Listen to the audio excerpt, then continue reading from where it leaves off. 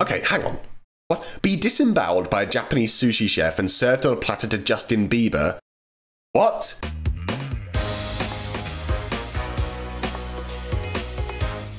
Hey everybody and welcome back to a brand new video where today we return to the world of Would You Rather because you guys really liked the previous one and I thought I'd do it again. So if you haven't seen this before, basically you are given two options which you have to rather pick one of them that you would rather do. So this first one we have is be a genius in a world of unintelligent people or be unintelligent in a world of geniuses. Now, of course, it's a tricky one. It is a tricky one. So, would we rather be really clever in a world of stupid people or be stupid in a world of clever people.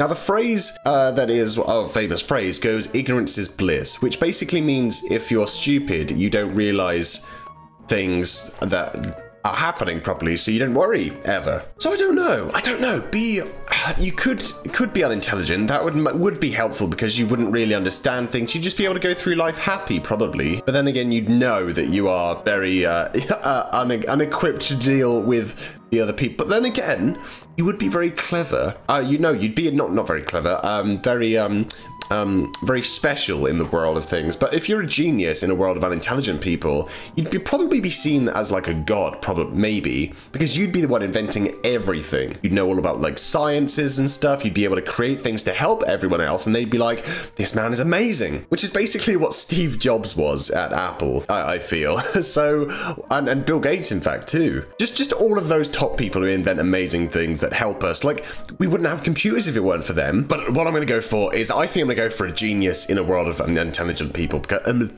genius in a world of unintelligent people. For I believe that that would be the more fun thing. You get to have so much fun doing things, inventing things, creating things, and everyone would get to enjoy them. So I'm going to go for that. Wow, 79%. Yeah, that is a that is a hefty amount right there. Okay, let's go to the next one.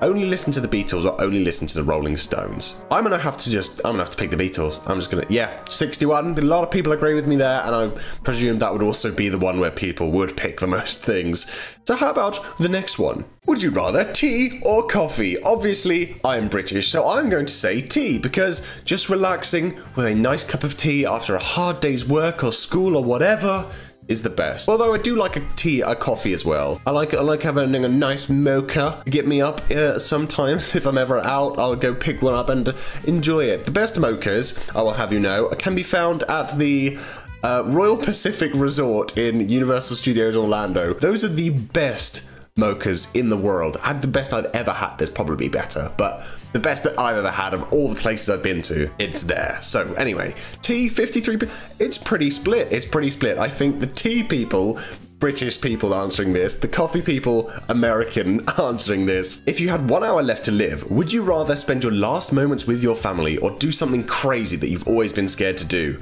Oh, it's a hard one. It's a hard one. One hour. What would you? What would I do that was crazy? What have I been scared to do? I don't think I've really been scared to do much stuff. Because if I, for example, cliff diving, I can do it fairly fairly low down. But if I was at the top of the cliff doing it, terrified, couldn't do it. So I'd just spend the entire hour stood there terrified. I wouldn't be able to jump off. So I'm going to say spend your last moments because I wouldn't be able to build up the courage in an hour to do something crazy because you just gotta, you gotta build it up in bits, you know, but oh my. That is more split than I expected. 51 for family and 49 for something crazy. But you know what, guys? Why don't you let me know in the comments below, what is something crazy that you would like to do? Would you want to go skydiving, cliff jumping? Uh, what else is there that's crazy? Drive a supercar around? That'd be crazy. I mean, I can't, I can't drive, and I presume that you guys probably can't either, but that would be fun to just do it and not know how to do it properly. Anyway, yeah, do let me know what you think is a crazy thing. So, let's go to the next one. We have eat your own hand or eat, eat a loved one's eye Wait, hang on. If you were starving. What? If I was starving, why would I be eating my own hand? I guess the thing is, if you're starving on a remote island and there's no food or something, why would you pick your hand as well? You could, like, get some Oh, this sounds weird, but you could get some flesh from your leg because that's probably where the most flesh is that would be doing the least harm to you. But again, your hand as well. Probably it doesn't have anything. You can't eat your hand. There's nothing on it really. But eating a loved one's eye. How would that help starving as well? That is about probably that big and it probably offers no nutritional value whatsoever and it would be disgusting and painful for both people I'm actually, I'm gonna say, I'm gonna say own hand. As, as stupid as this question is, 66% say that. Yeah, 34% of people want to cause their loved ones pain, unless the loved one has died. I don't know. Let's go to the next one. Okay, hang on. What? Be disemboweled by a Japanese sushi chef and served on a platter to Justin Bieber. What? Why is that a question? That is the weirdest question in existence. Or would you rather run through a pride of starving lions wearing Lady Gaga's meat dress? Again, bizarre. Um, I feel like a because if you if you're disemboweled by a Japanese sushi chef, you're dead anyway. You're dead the moment you say yes to that. But running through a pride of starving lions wearing Lady Gaga's meat dress, however, you may not be killed by it. You may be. I don't know. Could you be? They may think it's a trap or something weird. Would you have to keep the meat dress on, however, or could you tear off the meat and fling it about? That would save you. So I'm actually going to say starving lions. 67 people people. 67% of people say that. So yeah, that, that makes the most sense to me. If you were stuck in the woods, would you rather have a tomahawk or have a knife? Um, if you don't know what tomahawk is, it's like a, a small axe. It's about sort of, um, it's like a, it's like a pea shape. What would be the most useful? Because I'm pretty sure a tomahawk would work as a knife, surely, because it's got a sharp like edge on it. And it's probably easier to like chop things down. So I'm gonna say tomahawk. That seems like the most useful one.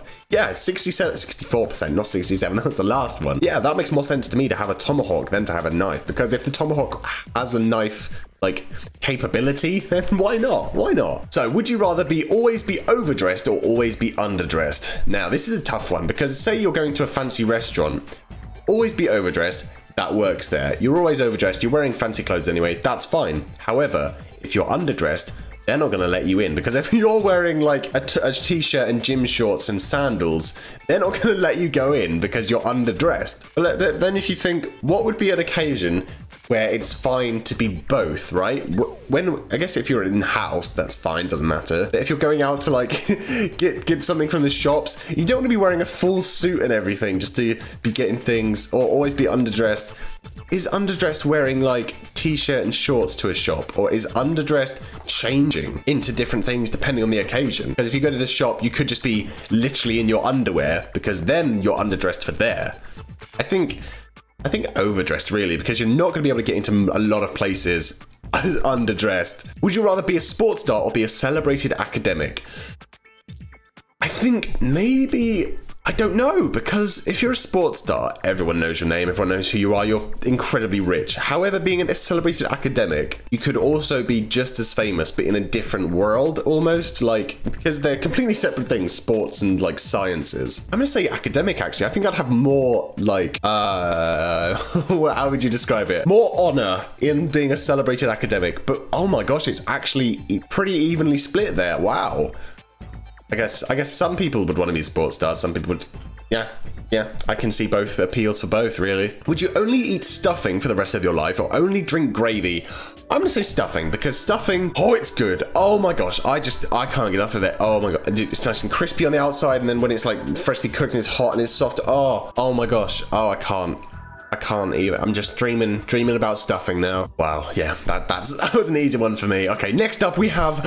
You don't want to be lonely. Would you rather only date people with severe uh, obsessive compulsive disorder, or only date chain smokers? I cannot stand people who smoke. It's it's disgusting. I do not like the the, the like the smell of it because I have asthma, so I can barely breathe properly when I'm around people like that. So it's definitely the OCD because you know it's you could probably you probably get used to it with them. You know you love them for who you, for, for who they are, so it comes with all their traits. So anyway, next one we have, would you rather live in isolation or face your biggest fear once a month? Mm-mm-mm. My, okay, my biggest fear, I would probably have to say, is swimming in deep, deep ocean water in the middle of nowhere. I'm thinking about right now and I can't think, but I'm gonna, Oh, I can't. I couldn't deal with that. I couldn't. Mate, but I guess if you're facing your biggest fear once a month, you get over it pretty quick, I'd say.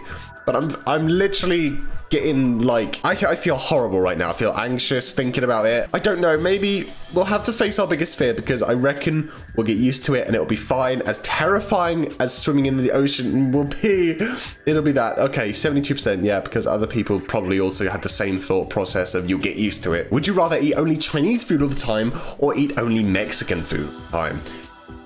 I'm gonna go with Chinese food because I'm not actually that big of a Mexican food fan, but Chinese food, there is a lot there that's good stuff. Okie doke. We have, would you rather get $20,000 worth of jewelry or get $10,000 worth of electronics? This is an easy one because I get the $20,000 worth of jewelry, sell it, and then buy $20,000 worth of electronics. Boom! See, people didn't think that through. They did not think that through at all. So there you go.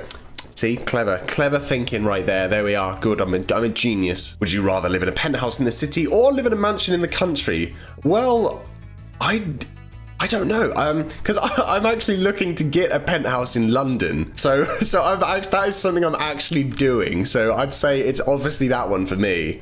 But a mansion in the country, as nice as it would be, you're in the country, you're not near anything. Uh, the internet is probably terrible, so I couldn't do my job properly, which is why I want to live in in a central city in a nice place. So that is where I'm going. Would you rather have an iPhone or have an Android device? Uh, Android device, I say, because I have never had an iPhone.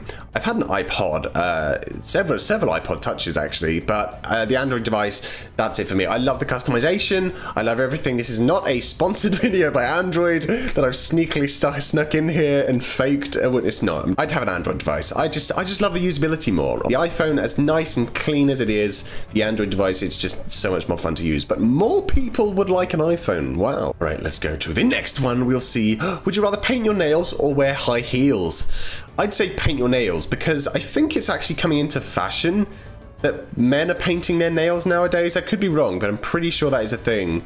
But wearing high heels, I don't think will ever be a thing for men. I'd say paint your nails because that gives you so much more like freedom and it's not too weird either. I don't know, if I was to paint my nails, I'd have to let them actually grow properly and not bite them too much because I cannot, I can't not not bite them. Is that how you say it? I can't, I cannot not not bite them. I don't know if that's correct or not. I don't know. Well, it doesn't matter. It doesn't matter. We're not, we're not get hung up on grammar right now. Okay, let's go to the next one. Would you rather have two left hands or two left feet? Hmm. I don't think that two left hands would be a problem. However, two left feet, you'd have to buy two left shoes all the time. So two left hands, I'm gonna go with that one, I think.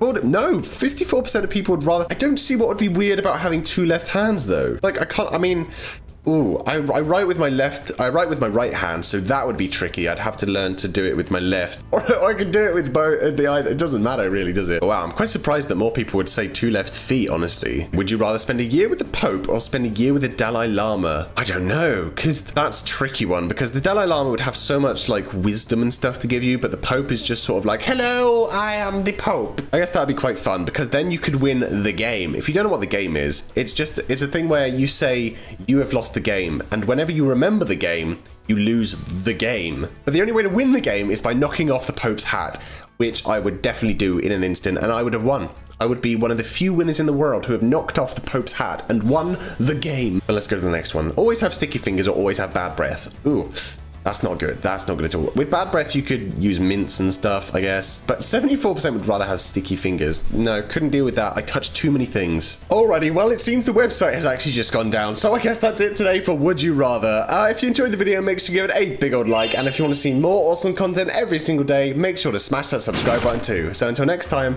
bye.